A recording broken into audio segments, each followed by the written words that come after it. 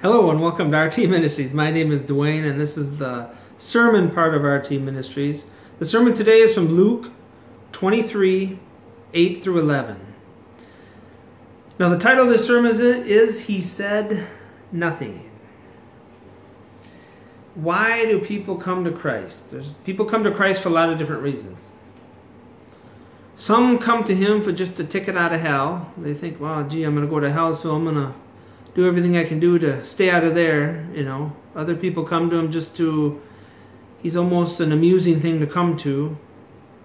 Others come to him just to add him as another God to their shelf. They really don't think he's God, but they think he's important enough to go to. Some people just go to church to go to church because that'll save them. They think that'll save them, you know. But frankly, a lot of people that come to Christ, he says nothing. It's empty because they came to him for the wrong reasons. Number one, they don't know they're sinners. They won't admit they're a sinner. They think they're pretty good people, but they come to Christ to get maybe a ticket out of hell or maybe just to have this world and heaven too. But he says nothing to them. There's a lot of people in ch- the churches in America are full of people who are unsaved because he said nothing to them.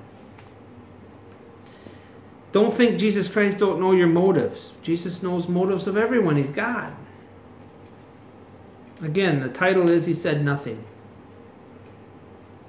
A lot of people come to him, cry out to him, ask him to save and he says nothing. They walk away deluded thinking they're saved.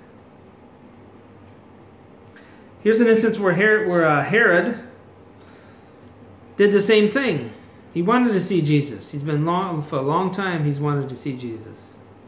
We'll pick it up in verse 8. Now Herod was very glad when he saw Jesus. Now here it says he was very glad. He was excited. He wanted to see him. He wanted to see who he was because obviously he heard about him. Jesus was was was curing people, you know, blindness and raising the dead. And He's doing all this kind of stuff, and Herod heard about him. He was very glad to see him.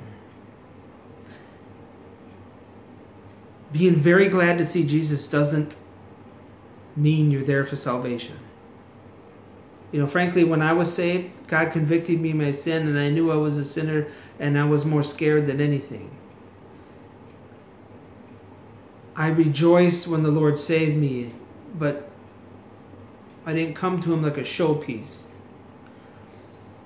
And frankly, a lot of people go to these signs and wonders meetings to see something, to get something. If you've come to Christ to get something from Him, He's going to say nothing to you. If you come to get a miracle, you come to get healed, or you're going to raise the dead, or you know, there's all kinds of stuff that happen in the world that isn't from God at all. Just because somebody does a miracle or sign doesn't mean it's from Jesus Christ. And how do you tell? This is the problem. How do you know? You got to match it with Scripture. But frankly, there's a lot of people that go to the meetings, you know, the charismatic movement, the bouncing around, the tongues, all that stuff. They're there to see something, to feel something and they're glad to be in there, but they're not there to know Christ. They're there just to get something from Him, a good feeling, to get pumped up. And frankly, He's going to say nothing to you. So Herod was very glad when he came, and he saw Jesus, for he had wanted to see him for a long time, because he had been hearing about him and was hoping to see some sign performed by him. Here's the real motive. He was hoping to see some sign performed by him. Didn't want to know him, didn't care who he was, he just wanted for what he could do. When Jesus fed the 5,000 people, there were 5,000 people plus uh, wives and children, so must have been around 10,000 people. That fought, there were people that wanted to be with him because he could produce food. They want, they got something from him, so they followed him because all these people left him. At the end, when he went down the Via Dolorosa, down to the temple, cleared out the temple, they were all gone. They left him. Herod was very glad. He wanted to see him for a long time and was hoping to see a sign performed by him. I'll tell you this Jesus Christ is no performer. Herod got nothing from him. Jesus is not a performer. If you go to a, a miracles and wonders, signs and wonders revival or in a church, he's not there to do miracles. So you'll see nothing from him. And you might see miracles. You might see all these people bouncing around, you know, barking like a dog and all this other ridiculous stuff. You might see all that stuff, but it's not from God. You, he says Nothing. If you come for anything from him, he'll give you nothing. Verse 9. And he questioned, this is Herod, and he questioned him at some length. But here's the key to the whole verse. He said, he answered him nothing. You know, there's some people out there that just want to question you to try to trick you or to trap you. They don't want to know nothing about Christ. They don't care about nothing from Christ. Doesn't matter what you prove from the Bible, doesn't matter the verses you bring out, they still don't want to know nothing. And frankly, Jesus is telling them nothing. So sometimes it's okay to, for us not to say anything. Jesus said nothing, sometimes just say nothing. You don't have to answer people. God will give you enough discernment to know if people want to know. You'll know. Because most people that I've talked to, a lot of people that I've talked to, frankly didn't want to know the Lord. They just wanted to argue. They don't believe it anyway. It gets down to them not believing the Bible. Well, if somebody says they don't believe the Bible, there's no point in talking to them anymore. What, what can you say? So Jesus answered him nothing. Verse 10 And the chief priests and the scribes were standing there, accusing him vehemently. And while he was answering Herod nothing, all the chief priests and the scribes were screaming and yelling at him and charging him with all this stuff. And remember, this is God they're talking to. They're trying, they're trying to condemn God, accusing him vehemently. It means they were very loud about it. And Jesus said nothing. Verse 11 And Herod with the soldiers, after treating him with contempt and mocking him, this is, see, Herod wanted him to give him a show, but this is the real heart of Herod right here. After treating him with contempt, so they were they were mocking him, they were treating him with contempt, saying, You're not who you say you are. And mocking him. This is look at the heart of Herod has not changed. He didn't want to know the Lord. He's still sinful. He's still mocking Christ. He's still insulting him. He's still doing all that stuff because his heart never wanted to be changed, and Herod certainly didn't know how sinful he was. After they had contempt and mocked him, dressed him in a gorgeous robe and sent him back to Pilate. Herod didn't get what they wanted from Jesus Christ, so they said they mocked him, had, had, treated him with contempt, put a nice robe that's supposed to fit on the king, and sent him back to Pilate. Again, Herod never wanted to know Jesus Christ. And all the people that come to Jesus Christ, he'll say, all the people that come to Jesus Christ who just want something from him, don't really want to know him, maybe you just want to ticket out of hell but go back to their own life, he'll say nothing. He said nothing to Herod because Herod was a wicked man, and everybody that comes to Jesus Christ, whether you're a sweet old lady or a young teenager or all that stuff that come to him and want something, he'll reject and he won't say nothing. Because your heart is still wicked and your heart is still sinful.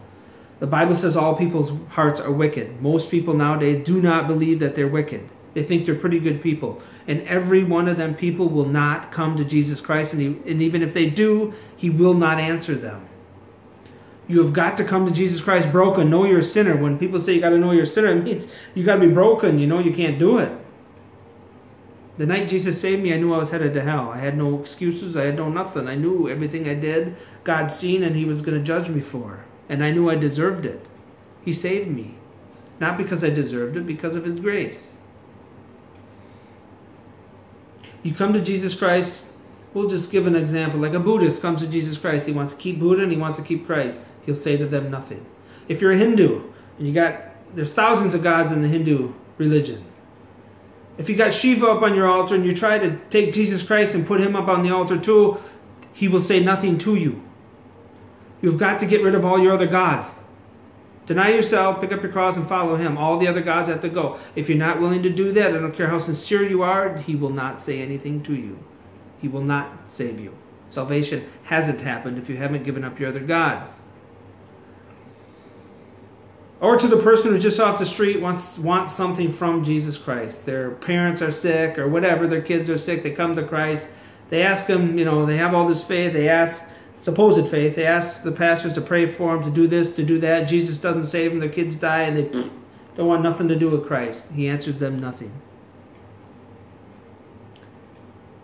And frankly, there's a good portion of the population that's, I would say, 70, 80% of the population that think they're Christian are not.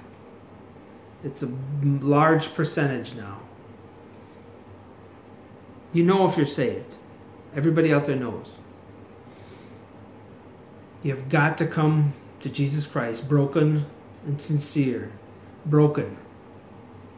Repent of your sins. Turn to Christ when you're broken, to the one that can save you, and He'll lift you up and He'll answer you.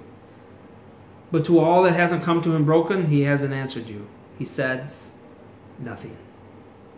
Now, you don't have to be like this. None of you have to die in your sins. Uh, there's a lot of people out there that think they're saved and they're not. Again, you got to know you're a sinner. You got to be broken, and God is the only one that can do that. If He breaks you, you'll come to His Son, you'll come through His Son and get to God through Jesus Christ. Don't be one of them that He says nothing to. Don't be pumped up by what you see in the miracles and the signs and wonders and all the other junk. Don't be pumped up. Pump up doesn't save you because soon you'll be pumped down. Soon the feeling leaves and you're wondering what? Nothing's happened. I haven't changed. Well, you haven't changed because he said nothing to you.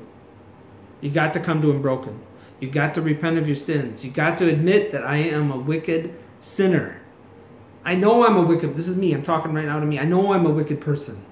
Inside, the only good thing about me is Christ. And you got to know that too. Come to him. He said he wouldn't turn you away if you come. But you can't just come on your terms, you come on his terms because, frankly, he's God. Once you come to him, deny yourself, pick up your cross, and follow him. You don't have to die in your sins. Come to him while you still can. Thanks for tuning in. I'll see you next time. Bye.